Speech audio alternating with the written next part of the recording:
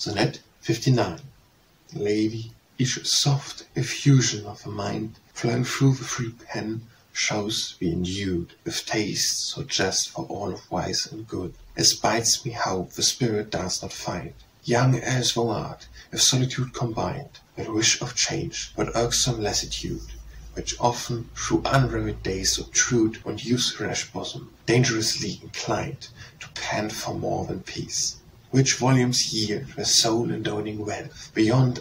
these shall consciousness of filial duty gild The gloomy hours, where winter's turbid seas Roar round the rocks, and the dark tempest lowers, And mourn the winds round Attic's lonely towers.